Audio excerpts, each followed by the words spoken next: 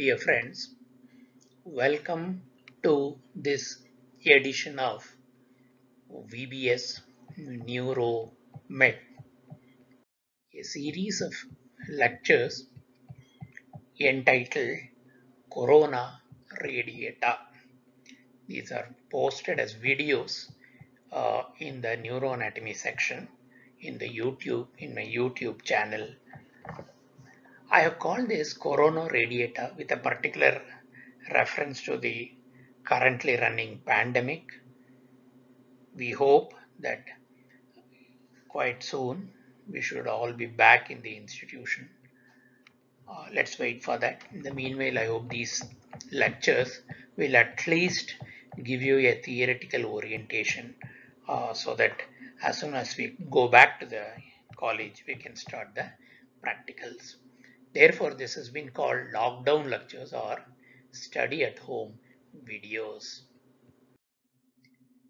The topic, the series which we are currently going through is ventricles of the brain. In particular, this uh, session is on the third ventricle. I am Dr. Balasubramaniam.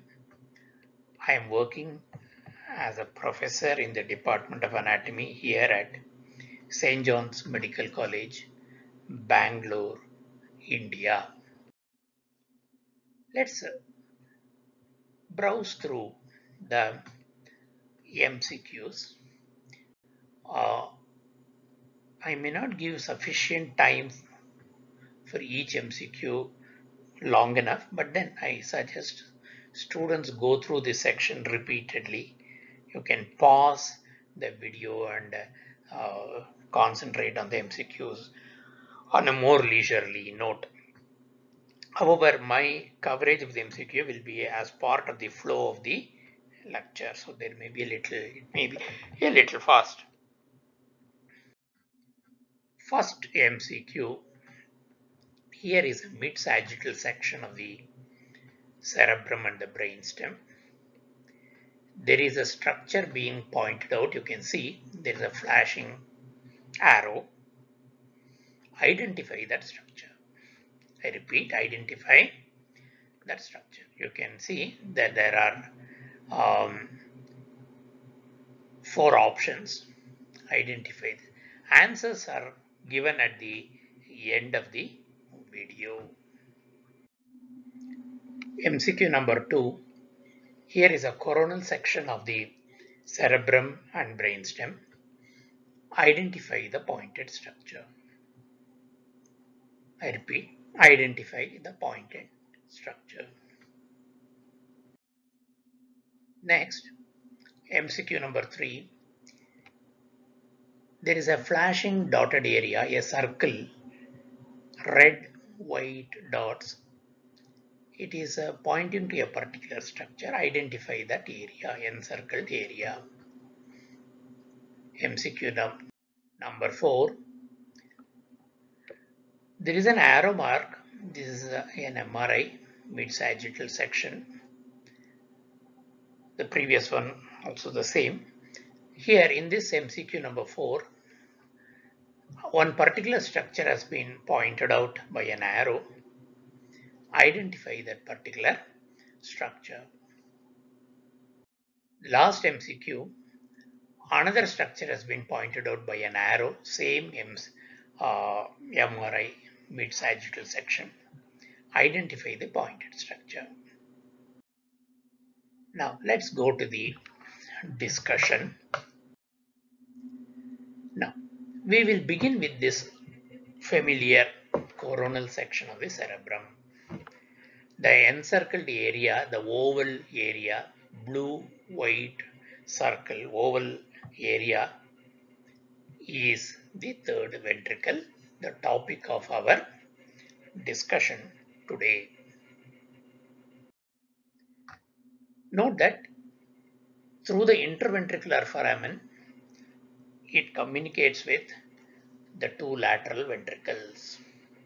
It's a very important point.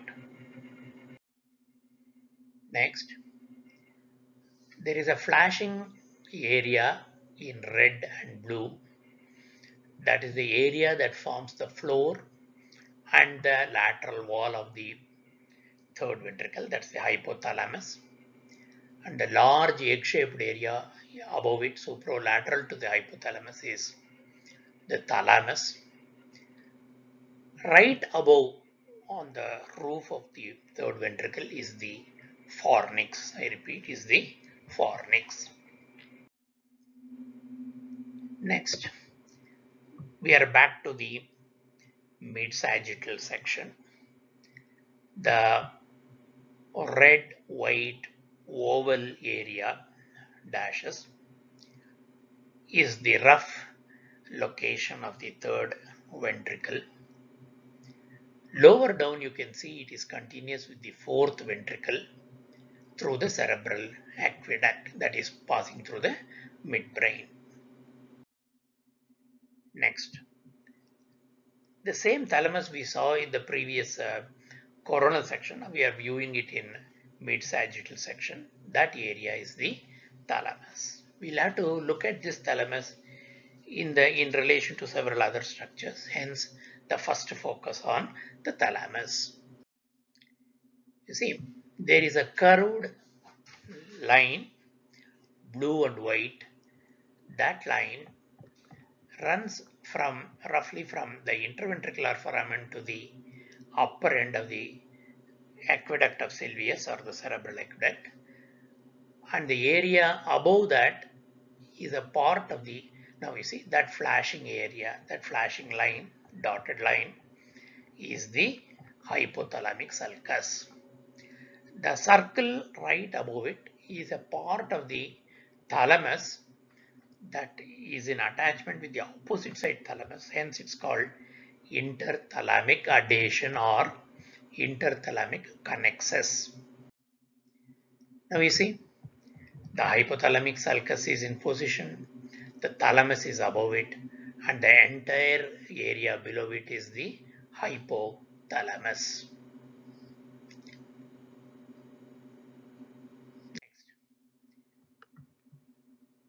The fornix has been highlighted by black, glowing, curved line and the interventricular foramen, the entry through the third ventricle is marked by the uh, lower blue arrow. The upper blue arrow is suggestive. It suggests that it communicates with the lateral ventricle. Therefore, this is an important slide, shows the fornix and how right below the fornix, the interventricular foramen is located. Next, the anterior commissure is located very close to the fornix at the anterior wall of the third ventricle. Right below it is the lamina terminalis. That's the embryologically the anterior most end of the developing neural tube. The anterior commissure transmits white fibers to the opposite uh, hemisphere and vice versa. When you trace the lamina terminalis down, it ends in the optic chiasma. Ends in the optic chiasma. Here is another brain photograph uh, to show here the anterior commissure and lamina terminal stands out in better contrast hence I have added an extra slide. Now back to the previous slide. You can see in the floor of the third ventricle, the flashing arrow is the mammillary body. The fornix finally ends there. A encircled area in white, red circle dashes is the area where the infundibulum and the hypophysis are located. But let me inform you that this item is missing the reason is whenever we remove the brain during routine dissection, we place a hand below the frontal lobe, lift the frontal lobe and go on cutting all the structures uh, coming out of the brain. As a result, one of the early structures that get cut is the infundibulum and the hypophysis. So this is better seen in a sagittal section of the whole head area. There it is kept intact. So I have therefore only shown the location. The infundibulum and hypophysis is not there in this particular photograph, but then the next slide will will make up and we will see it in a museum exhibit of a sagittal section of the head. You see, now that's uh, from the museum. You can see the infundibulum and the hypophysis. You can see the hypophysis locate the lower arrow, pointing arrow. You can see the hypophysis is located in the uh, hypophyseal fossa. The upper arrow is a small elevation in the floor of the third ventricle. Uh, that is the point where the infundibulum begins. So that elevation is called the tuber cinereum. Repeat, tuber cinereum. Next, posterior wall.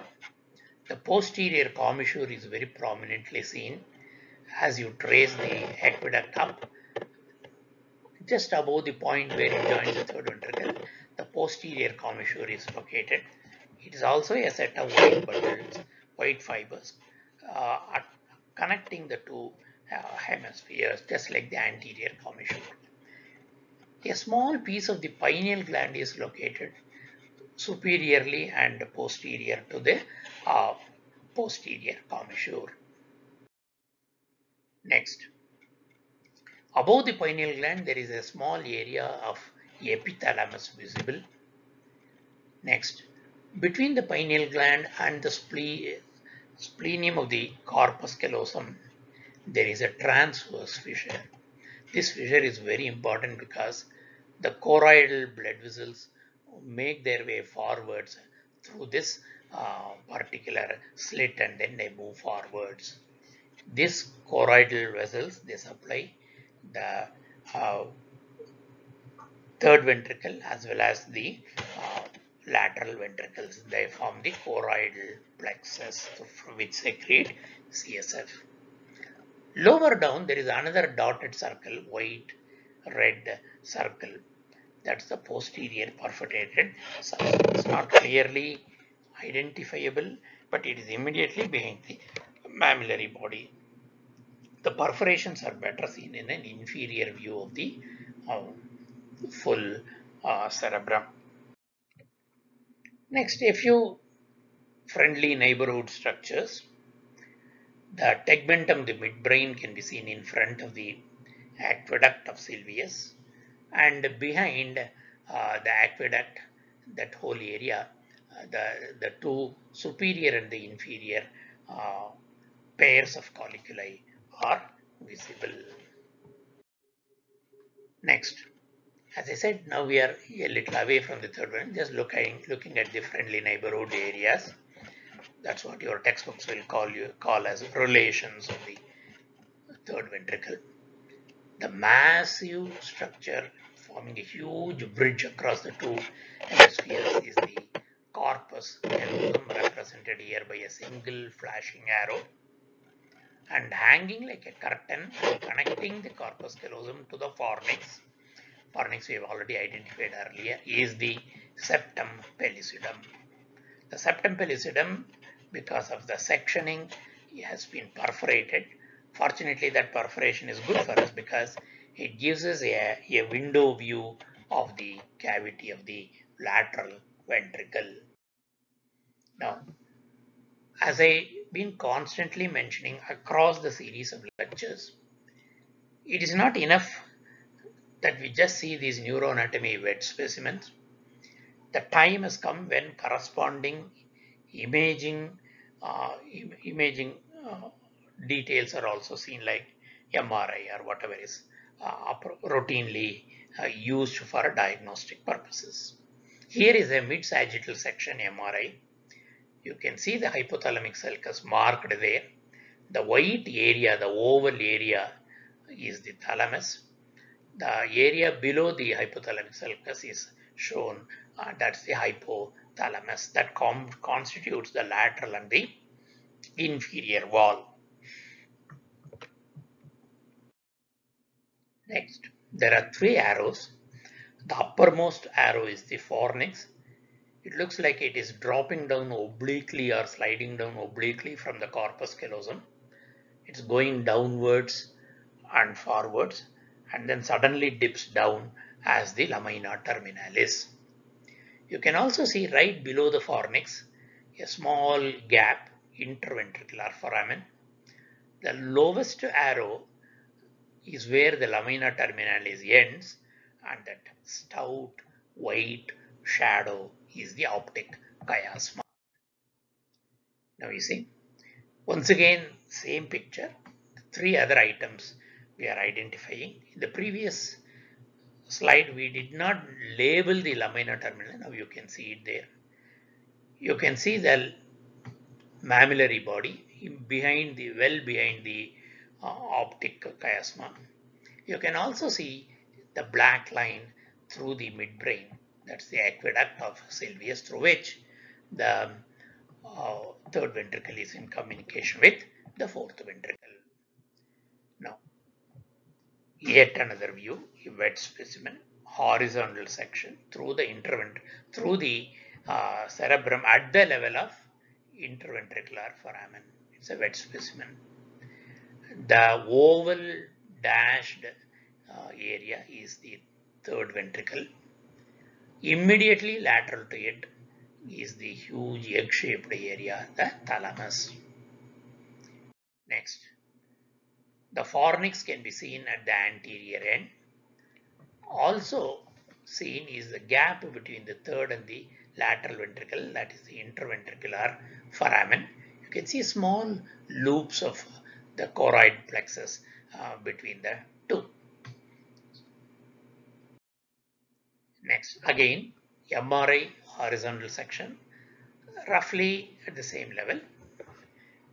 Maybe a little below, I would I would uh, say, looking at this, because the, the fornix and the interventricular foramen is not clearly seen. Probably this is a little lower down. However, still the thalamus is very clearly seen. The third ventricle is, is also clearly seen. And if you watch carefully in that circle, the interthalamic adhesion and a part of the fornix is also uh, visible. Now let's have a relook. That means a second round, more detailed observation of the MCQs. And let's correct ourselves uh, if you have not been able to identify uh, one or more MCQs. Back to MCQ number one the identify the pointed structure that's the epithalamus the details are given you in the discussion. Next mcq number 2 that's the fornix. Mcq number 3 this is in mid sagittal section mri that oval area is the thalamus. Next the lamina terminalis is uh, uh, highlighted. Answer is C. Lamina terminalis.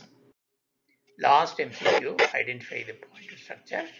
In the floor, the um, mammillary body has been highlighted. Answer B. Mammillary body. Now that was a, a, a brief overview of the third ventricle its walls, details, and its neighborhood structures, etc. I'm sure uh, in the process of learning you may have had a few doubts or some points to clarify or, or you want to give me a feedback about the video, how it could be improved, etc. Feel free to write me on this email ID or you could also pen your feedback on the blog area uh, right below the YouTube video on my channel. Thank you, my dear friends, for your patient hearing. I hope you were able to benefit from this video. I hope after this theory orientation, all my students will come back as soon as possible after this pandemic is uh, is under control and the government uh, permits restarting of the classes. So there we will try to cover the practical uh, aspects. That means we will give you a brain and you will go through it and then you will do a dissection as per the uh, curricular requirements. Thank you, my dear friends.